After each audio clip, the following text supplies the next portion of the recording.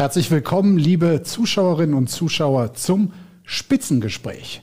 Mein heutiger Gast war zwei Jahre lang Sprecherin der Grünen Jugend. Inzwischen ist sie stellvertretende Parteivorsitzende der Grünen und sie kandidiert äh, aktuell für den nächsten Deutschen Bundestag und hat laut Landesliste auch gute Chancen, Teil dieses Bundestags zu sein. Ich freue mich sehr auf Ricarda Lang. Schön, dass Hi, Sie da ich sind. freue mich. Wie geht es Ihnen nach einem Ausflug nach Budapest, wo Sie jetzt am Wochenende ähm, demonstriert haben gegen die Einschränkung der Rechte von Schwulen und Lesben durch das Orban-Regime? Mir geht es tatsächlich sehr gut, weil es ein ziemlich ermutiges Zeichen war, dort zu sein. Die Orban-Regierung plant gerade neben unglaublich einschränkenden Gesetzen für schwule, Lesben und Transpersonen, die komplett aus der Öffentlichkeit verdrängt werden sollen, über dieses Gesetz auch noch ein Referendum zu machen, also ein Referendum darüber, ob es eigentlich grundlegendste Menschenrechte geben sollte und nutzt das, um wirklich untragbare Hasskampagnen gegen queere Personen zu fahren. Und was ich aber so schön fand, dort waren 30.000 Personen auf der Straße. Es waren ein paar ganz kleine Gegendemonstrationen von Homo-Hassern und Rechten. Und zu sehen, dass eben Orban nicht gleich Ungarn ist, sondern dass es dort eine resiliente Zivilgesellschaft gibt, dass es dort eine unglaublich starke Community gibt und dass wir für die einstehen müssen, gerade als Europäerinnen. War wahrscheinlich auch ein ganz angenehmer Ausflug von der deutschen Innenpolitik und dem Wahlkampf, der für die Grünen bisher bestenfalls suboptimal läuft. Und deshalb jetzt die Frage an Sie als bekennender Baerbock-Fan. Äh, dass Annalena Baerbock auch aus dem Buch von Robert Habeck jetzt auch noch wortgleich abgekupfert hat, Formulierungen übernommen hat, haben Sie da als Baerbock-Fan zumindest gedacht, was ist denn da los? Ja, ich glaube, dass man als Kollegin eng zusammenarbeitet und dass man gerade auch, wenn man in einem Bundesvorstand gemeinsam in den letzten vier Jahren an Konzepten gefeilt hat, an Ideen gefeilt hat, an Visionen gearbeitet hat, dort mal auch voneinander lernen, sich miteinander austauscht. Ich glaube, das ist jetzt wirklich kein großes Problem. Sieht auch Robert Habeck so. Glauben Sie das wirklich? Ja. Warum? Naja, weil das ja der normale Prozess ist des Miteinanderarbeitens. Und ich glaube, dass man da. Aber sollte man nicht als Kanzlerkandidatin geschickter sein bei der Übernahme von Formulierungen, auch von Gedanken, die erkennbar von jemand anders stammen? Das auf jeden Fall. Also da gab es Fehler, das ist keine Frage. Ich glaube, es ist normal, dass man im Politischen, ich kenne das auch von mir selbst, man hört irgendwo bei einem Gespräch, in einer Diskussionsrunde, schnappt man was auf, danach liest man einen Text bildet das für sich zusammen, hält da eine Rede und denkt, das war der eigene Gedanke. Und trotzdem muss man klar auch gut bei den Zitieren zahlen. Da gab es Fehler. Die hat auch Annalena Baerbock selbst eingestanden und auch schon gesagt, dass sie da nochmal nachlegen wird, was die Quellenangaben angeht. Ja.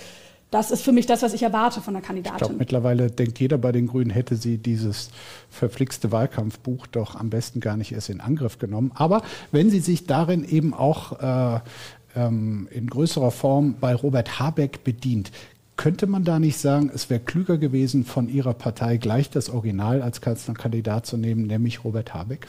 Nein, wir haben das Original Annalena Baerbock und wir haben das Original Sie waren Team auch richtig mit den beiden. für Sie, ja? Ich war für sie, ja. Das mhm. war, war, auch meine Stellung. Aber ich glaube, es war immer für uns klar, dass wir im Team antreten. Aber ich glaube, jetzt nach hinten zu schauen hätte, das bringt auch nicht viel im Wahlkampf. Aber, aber wir haben eine Teamausstellung und jetzt ist die Frage, wie gehen wir der voraus? Wie schaffen wir es jetzt? Verlorenes Vertrauen, das gibt es ja durchaus. Das würde ich auch komplett dazu Aber nur für die Geschichtsschreibung. Es ist ja schon interessant. Warum waren Sie, sagen wir, im Februar, im März so dezidiert dafür, dass es Annalena Baerbock wird? so dezidiert ist ganz lustig. Ich habe, glaube ich, öffentliche Äußerungen von mir gesehen, die ich gar nicht so geäußert habe. Ich fand das eine gute Entscheidung, aber es war ja auch klar, dass wir damals die Entscheidung tatsächlich dem Team von den beiden überlassen haben, die für sich gesagt haben, wer kann in der jetzigen Situation gerade diese Führungsrolle übernehmen. Ich fand es eine gute Entscheidung aus Emanzipationsgründen, auch ganz klar aus einer sehr klaren Haltung, die sie in Klimafragen hat. Ich glaube, eine neue Form von Führung. Ähm, aber für mich war auch immer klar, dass die beiden da weiter im Team antreten. Und jetzt sieht man, was Annalena Baerbock selbst verschuldet seit ihrer Nominierung alles falsch gemacht hat, ungeschickt gemacht hat, sich zu Recht zum Gegenstand von Kritik gemacht hat. Beißt man sich als Vertreterin der Grünen da nicht kräftig in den Hintern und sagt, was für eine Riesenchance wurde seit diesem Zeitpunkt vertan? Aus meiner Sicht für die Partei. Ja, ja, ich weiß, aus meiner Sicht wurde noch keine Chance vertan.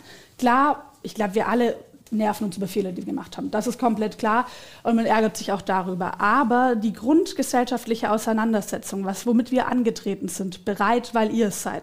Also zu sagen, wir haben gerade eine gesellschaftliche Voraussetzung, wo ganz, ganz viele Menschen weiter sind als die derzeitige Regierungspolitik. Von Pflegerinnen, die über sich hinauswachsen, über Unternehmen, die klimaneutral wirtschaften wollen, über generationenübergreifende Solidarität. Und wir brauchen endlich eine Politik, die das auch in strukturelle Maßnahmen umsetzt. Daran hat sich ja noch nichts verändert. Das heißt, heißt, die Chancen sind immer noch da. Wir müssen jetzt aber härter arbeiten, um sie auch wirklich nutzbar zu machen. Und da muss man sagen, dass wir in den letzten Monaten einen Wahlkampf gesehen haben, der sich sehr auf Detailfragen, sehr auf Fragen von persönlichen Fehlern, immer wieder auf Diffamierung bezogen hat. Hätte man vermeiden können. Da haben wir als Grüne aber dazu beigetragen, muss man ehrlich sagen. Das Klar. heißt, ich will es gar nicht rummoos, sondern sagen, wir müssen im Wahlkampf mehr über Inhalte reden, sonst einfach selbst tun. Der erfahrene Kampagnenmanager Frank Staus, äh, gewiss nicht dem rechten Lager zugehörig, sprach gerade erst von der, ich zitiere, unterqualifiziertesten Kandidatin, die je für das wichtigste Amt nominiert wurde. Was kann man da nach den Erfahrungen der vergangenen Wochen ernsthaft entgegenhalten? Dass all das, warum wir uns für Annalena Baerbock entschieden haben, wer sie als Person ist, was eine Führung sie einsteht, die im Team gemeinsam führt, die eine Vision hat und die nicht damit antritt, dass sie die meiste Erfahrung hat. Das stimmt ganz klar, aber da muss man ja ehrlicherweise auch sagen, etwas schon mal gemacht zu haben, heißt nicht immer, dass man es gut gemacht hat. Mhm. Aber die eine klare Vision hatten, vor allem einen Plan. Und das ist, dieses Industrieland Deutschland klimaneutral umzubauen, der Klimakrise Herr zu werden, das auf eine sozial gerechte Art und Weise zu machen. Und dafür ist sie qualifiziert. Dass sie jüngst auch wieder in einem Interview das N-Wort komplett äh, ausgesprochen hat als Zitat. Wie kann das einer Frau passieren, über die es immer hieß, sie sei so wahnsinnig professionell, so akribisch vorbereitet? Das scheint ja offenkundig nicht der Fall zu sein. Naja, sowas ist, glaube ich, keine Frage der Vorbereitung, sondern gerade wenn man im Moment auch der Leidenschaft ist, wenn es zum Beispiel darum geht, wie wir es hinbekommen, dass Rassismus in unseren Schulen entgegengesetzt Dann spricht man das N-Wort aus? Sollte man es niemals aussprechen, gar keine Frage. Dieses Wort sollte niemand von uns aussprechen, weil es Rassismus reproduziert und weil es Menschen verletzt. Aber die Frage ist ja, wir machen alle Fehler. Ich glaube, wir leben in einem Land mit einer relativ schlechten Fehlerkultur. Mhm.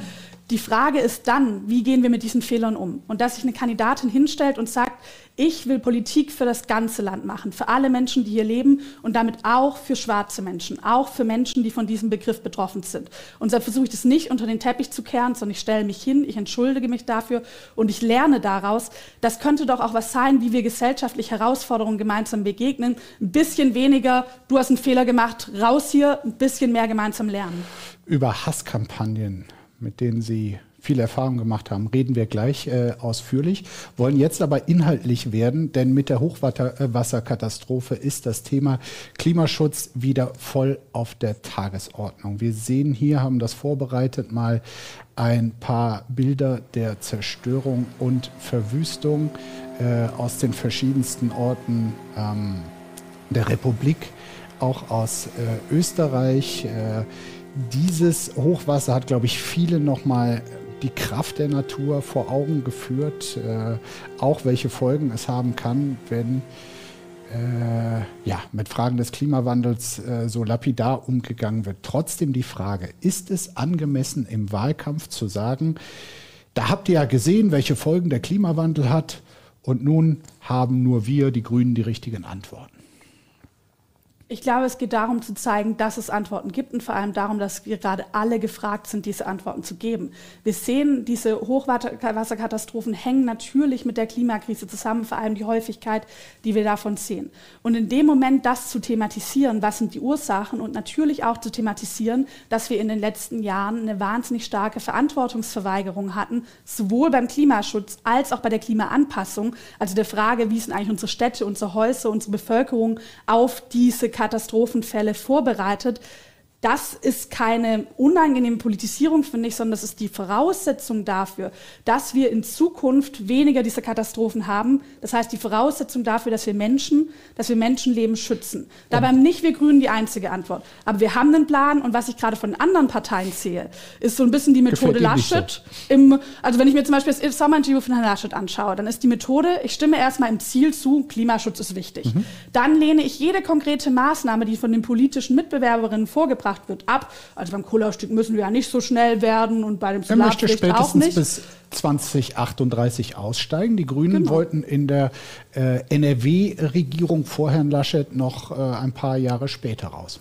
Wir haben uns sehr klar positioniert, sowohl in NRW als auch in der Bundes, äh, im Bund und haben klar gemacht, wir wollen den Kohleausstieg bis 2030.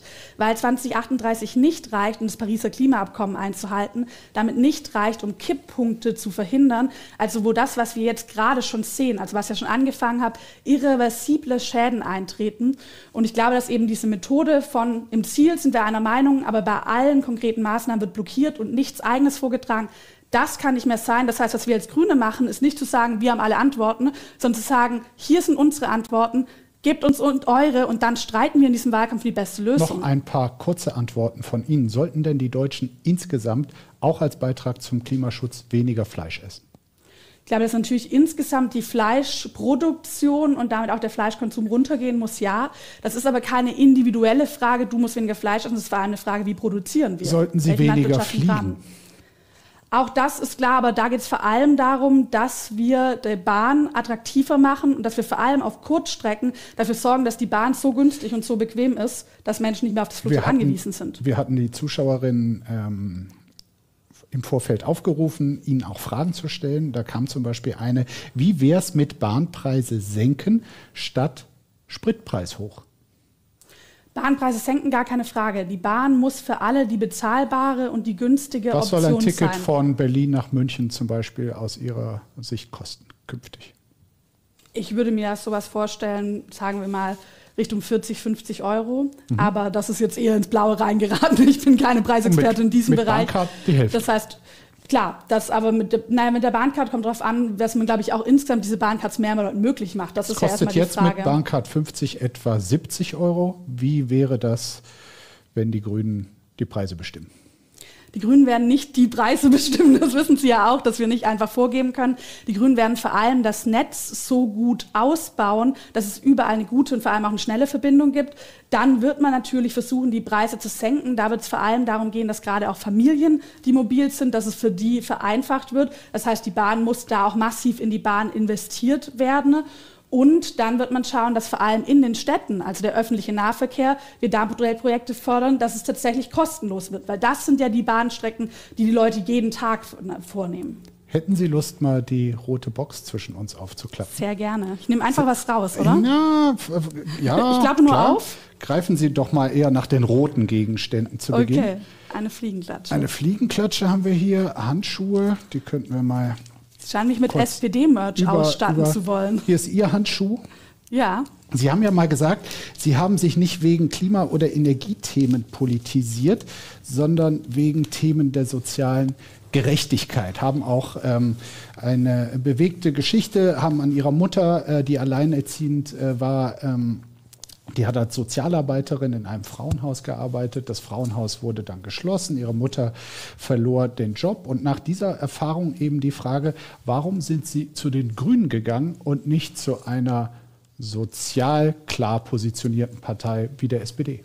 Weil die Grünen für mich eine ganz klar sozial positionierte Partei sind. Weil die Grünen für Menschen wie meine Mutter, die auch in den letzten Jahren der derzeitigen Bundesregierung an der SPD beteiligt sind, immer wieder hinten runtergefallen sind. Weil wir eben sehen, dass gerade die Arbeit von Frauen in den Pflegeheimen, in den, an den Supermarktkassen, aber zum Beispiel auch in Frauenhäusern wie meine Mutter, dass die nicht gewertschätzt wird und dass die auch immer wieder, wenn konkrete politische Entscheidungen, die übers Klatschen hinausgehen, gefallen werden, hinten runterfallen. Was die Grünen für mich schaffen und was mich auch zu der Partei gezogen hat, war die soziale Frage und Fragen von Emanzipation, als zum Beispiel die Gleichberechtigung der Geschlechter, nicht gegeneinander auszuspielen. So zu tun, als müsste man sich entscheiden, entscheiden, ob man vor allem für den Arbeiter Politik macht, also Mindestlohn, mhm. Gute Absicherung, Hartz IV überwinden oder Politik für Frauen, für Menschen, die von Rassismus betroffen sind. Und das hängt ja massiv zusammen und dafür ist meine Mutter das beste Beispiel.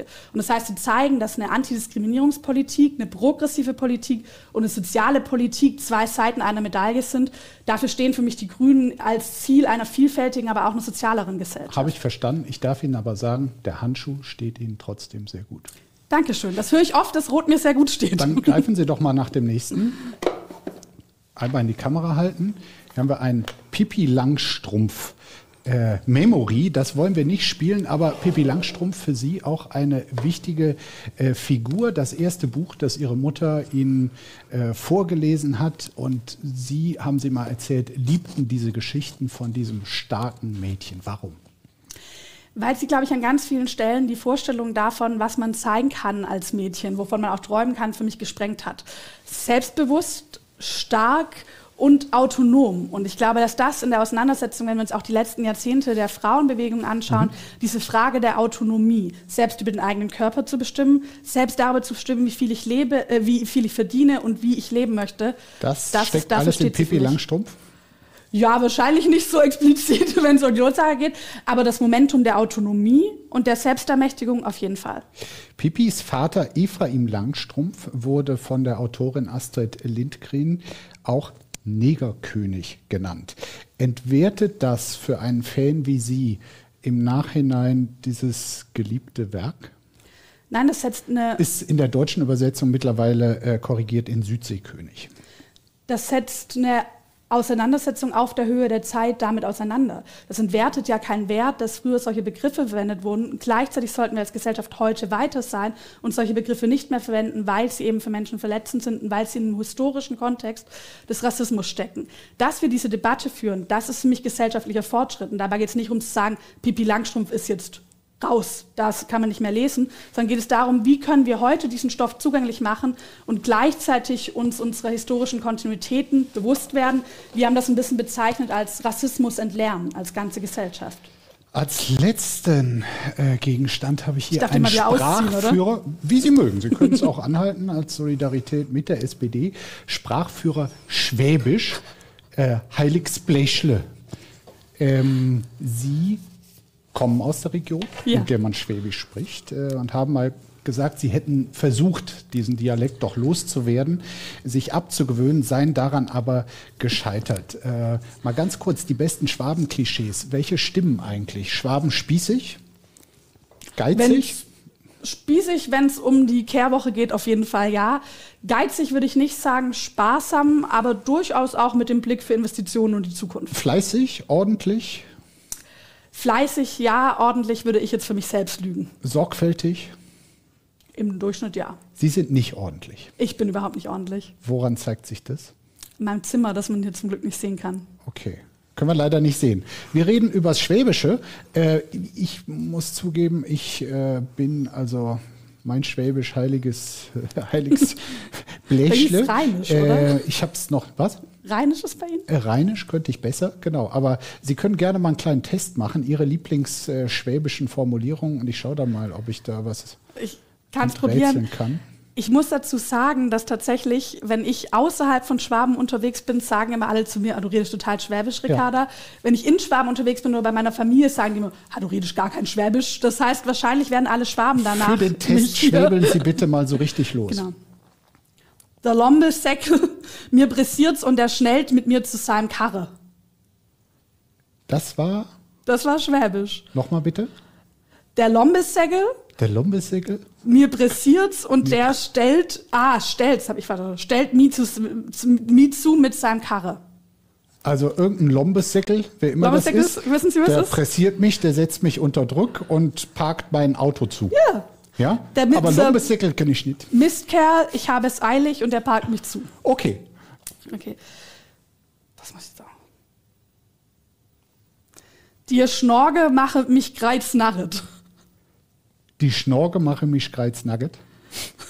Das ist die, eine schöne Mischung. Also ich könnte es herleiten, Schnaken gibt es ja. auch im Rheinischen. Das sind Mücken. Die Mücken machen mich schier verrückt. Halb verrückt. Also, Halb ja. verrückt. Okay. Nächste. Das gefällt mir langsam. Das, ich fand es ja immer den schlimmsten äh, Dialekt, ehrlich gesagt, in Deutschland. Aber mit Ihnen Schwäbisch lernen ne? macht doch Spaß auch. Vielleicht soll ich noch umsatteln, noch Schwäbischlehrerin. So. Sodeleher Feldenkirchen, ganget man dann jetzt zusammen auf ein Bierle und wie ist das? Ah, das war leicht. Das war einfach, oder?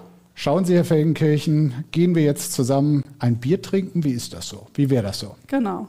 Ja, für mich äh, äh in Ordnung, aber wir wollen auch noch ein bisschen reden. Vielen Dank für den kleinen äh, äh, Schwäbisch-Test. Äh, ich werde den Sprachführer dann mal mitnehmen und äh, bei meinem nächsten Aufenthalt in der Region dann äh, brillieren. Ich möchte mit Ihnen über den Hass, den vor allem äh, Sie erfahren aus sozialen Netzwerken, zum Beispiel neulich nach Ihrem Auftritt in der Sendung Hart aber fair bei Frank Plasberg. Das war wieder so eine Eruption des Hasses oder ähm, ähm, der bösen Sprüche über sie.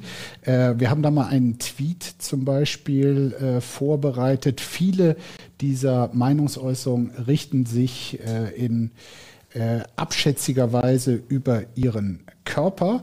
Und dieser Tweet, den wir hier haben von irgendeiner Königin der BRD, Ricardo, schon mal falsch geschrieben, Ricarda Lang, nah bei den Burgerinnen, eine Anspieler auf hier einen dicken Burger. Man muss sagen, das ist fast noch einer der harmloseren Kommentare.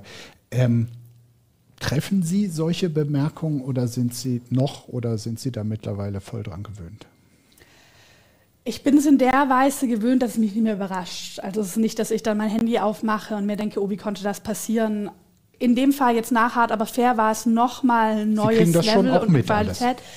Tatsächlich, dadurch, dass gerade Twitter mittlerweile sehr gut filtert, nicht immer direkt, zum Beispiel nach dem Hart aber fair Auftritt, habe ich plötzlich mitbekommen, dass ich lauter Solidaritätstweets bekommen habe. Und dann war ich immer so, Solidarität mit Ricarda lang und ich war so, was geht denn hier ab? Und bin dann mal auf den Hashtag gekommen. Aber klar, irgendwann bekommt man es immer mit. Ähm, äh, ich versuche sehr wenig selbst zu lesen. Ich finde das gar nicht gar keine ganz einfache Frage, weil man gewöhnt sich dran und man härtet auch ab auf eine Art und Weise. Und auf der anderen Seite will ich das gar nicht unbedingt. Dieses sich ein dickes Fell zulegen, sich eine dicke Haut wachsen lassen. Ich will ja auch in der Politik Mensch bleiben und eigentlich will ich mich daran nicht als Normalität, äh, das, das als Normalität daran gewöhnen. Mhm. Das war so ein Solidaritätspost von Paul Ziemiak, CDU-Generalsekretär. Äh, waren Sie da überrascht? Ja, tatsächlich positiv überrascht. Ich mhm. glaube, dass wir genau das brauchen.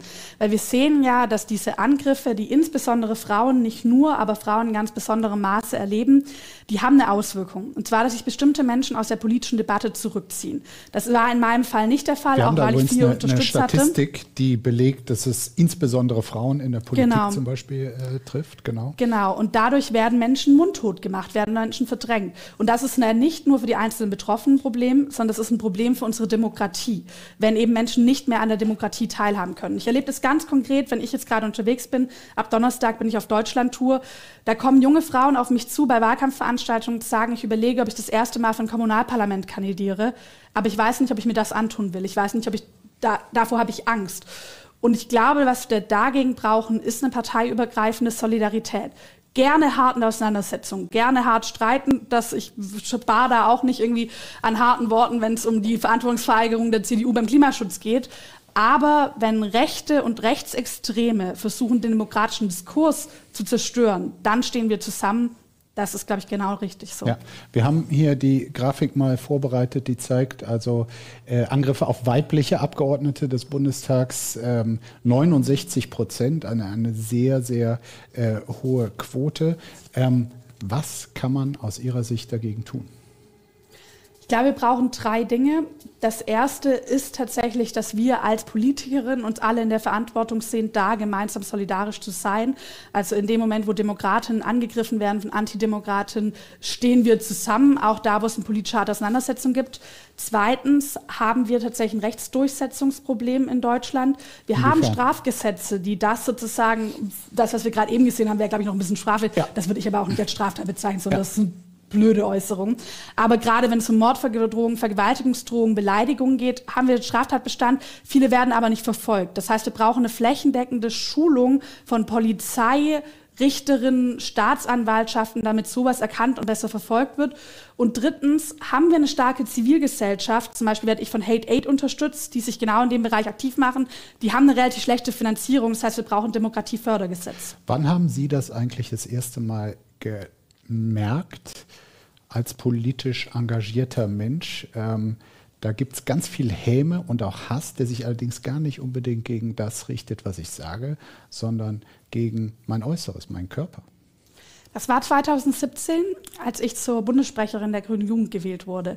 Ich wurde mitten in den Jamaika-Sondierungen gewählt. Mhm. Das heißt, wir hatten eine relativ große Aufmerksamkeit auf die Grüne Jugend und waren damals auch als Grüne Jugend, glaube ich, der, ja, der lauteste Teil, der sich sehr klar kritisch zu Jamaika positioniert hat innerhalb der Grünen. Das heißt, es gab ziemlich viel Medienaufmerksamkeit klar. innerhalb der ersten Wochen. Und ich habe damit gerechnet, dass es da Gegenwind geben wird. Ich glaube, weil das ja auch dazugehört in der Demokratie und weil die Grüne Jugend auch nicht bekannt dafür ist, nur Positionen zu haben, die eh schon jeder geil findet. Ich habe damit gerechnet, dass es inhaltlicher Gegenwind ist. Und für mich war das total krass, als ich gemerkt habe, egal wozu ich mich äußere. Gigawattzahl beim Kohleausstieg, Abschaffung Soli, ja oder nein, Kooperationsverbot in der Bildung, ja oder nein immer Kommentare zu meinem Äußeren. Mhm. Und Sie haben mal gesagt, ähm, dass äh, besonders schlimm die Kommentare dann ausfallen, wenn es um Migrationspolitik geht. Was bekommen Sie da zu hören? Naja, da hat man natürlich immer wieder dieses Bild von, du willst ja nur, dass die kommen, weil dich hier keiner will. Das heißt, hier verbinden sich Sexismus und Rassismus, ein stereotypes Bild von migrantischen Männern mit einem stereotypischen Bild von Frauen zusammen zu einem Konglomerat von Hassen. Das sind natürlich Triggerpoints, weil der Hass ganz klar aus der rechten und rechtsextremen Ecke kommt. Also das ist bei mir, das sehe ich selbst, dazu gibt es auch die Studien. Und da ist natürlich dieses Thema eine selbstbewusste, junge grüne Frau, die sich dann noch für die Rechte von Geflüchteten, für ein modernes Einwanderungsrecht einsetzt, ist da ein Triggerpoint und ich glaube, es macht ihnen vor allem Angst. Angst vor Veränderung, dass diese Menschen Angst davor haben, welchen Wandel Menschen mich auch vorantreiben können. Macht das auch Ihnen Angst? Klar. Ich glaube, ich würde lügen, wenn ich sagen würde, nein, ich stehe da immer komplett drüber. Wir hatten einen Fall, wo tatsächlich mal meine, äh, meine Klingelschild durchgestrichen wurde. Das, das war heißt, vor kurzem erst, habe ich gelesen. Genau, vor ein paar Monaten. Das war natürlich so ein Momentum, wo das rüberschwappt ins reale Leben. Ich glaube, dass diese Trennung von real da und digital jemand, eh wenig Sinn macht. Mich, der weiß, wo ich wohne. Genau. Und Hat das auch mal dazu auch geführt, dass Sie sagen, ich weiß gar nicht, ob ich mich wirklich so äh, öffentlich exponieren will? Nein, weil ich mich sehr bewusst damit auseinandergesetzt habe.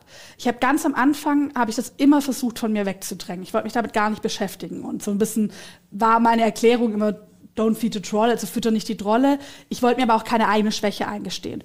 Und irgendwann habe ich gemerkt, dass ich eine Schere im Kopf habe, dass ich selbst diese Momente habe, wo ich davor überlege, kann ich das so sagen, will ich das so sagen und ein bisschen mehr Selbstreflexion würde bestimmt allen Politikern mir eingeschlossen gut tun, aber es war keine Selbstreflexion, sondern es war wirklich eine Schere im Kopf. Habe ich gerade die Zeit, habe ich die Kraft, mich dem auszusetzen. Und dann habe ich gemerkt, genau das ist das, was die wollen. Das Ziel, Frauen mundtot zu machen, und seit ich mir das so bewusst habe, statt ich verstanden habe, was steckt da dahinter, denke ich mir eigentlich jetzt erst recht. Seitdem ist es für mich eher ein Ansporn, noch viel, viel entschiedener für eine gleichberechtigte Gesellschaft, in der alle Menschen ohne Angst Politik machen können. Sie haben unterschiedliche Mechanismen entwickelt im Umgang mit diesem Body-Shaming äh, Phänomen. Zum Beispiel haben Sie selbst mal ein Foto getwittert, wo Sie schon als Baby äh, mit dem Kommentar schon als Baby habe ich gerne Pizza äh, gegessen. Das klingt dann alles so, so leicht und spielerisch und auch äh, selbstironisch. Hat das lange gedauert, bis Sie so offen damit umgehen konnten? Ja, ich glaube, lange ist wahrscheinlich relativ. Hier sehen wir das Foto, glaube ich. Jetzt, wo ich da hinschaue, glaube ich, dass es Pizza war, so eine Brezel. Das ist jetzt der nächste Fake-Skandal. Ähm, nein, ich glaube, ja, lange ist natürlich relativ. So lange bin ich jetzt ja natürlich auch nicht im Geschäft. Aber klar, das hat eine Zeit gedauert. Ich glaube, gerade weil dieses Schwäche eingestehen.